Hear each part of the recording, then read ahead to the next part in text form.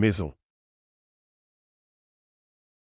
Le mot maison désigne généralement un bâtiment dans lequel des gens vivent.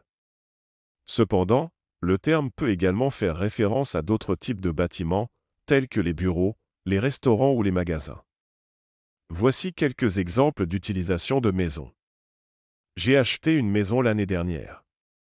Désigne une habitation personnelle. La maison de mes parents est grande et belle. Désigne également une habitation personnelle. La maison de retraite accueille des personnes âgées qui ne peuvent plus vivre seules. Désigne un bâtiment pour les personnes âgées. Le restaurant est situé dans une vieille maison en pierre. Désigne un bâtiment commercial. Il est important de noter que le mot maison peut également être utilisé dans des expressions courantes telles que la maison de famille ou la maison de vacances, qui font référence à une maison particulière qui est utilisée pour une occasion spécifique.